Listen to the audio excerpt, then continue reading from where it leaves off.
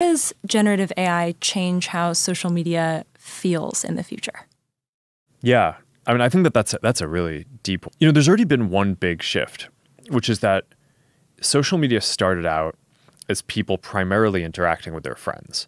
And now it is you know, at least half of the content is basically people interacting with creators or content that's not created by people who they've kind of personally know. So we sort of, sort of already have that paradigm. And I think AI is probably going to accelerate that. It will give all these people additional tools, right? So your friends will create kind of funnier memes and more interesting content.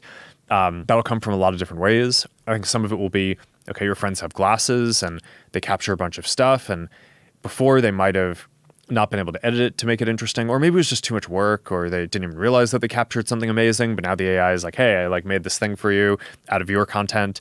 Um, and it's like, okay, that's awesome. Like people will enjoy that. Creators, obviously, kind of much more specialized skills are going to be able to use even more advanced AI tools to make more compelling content.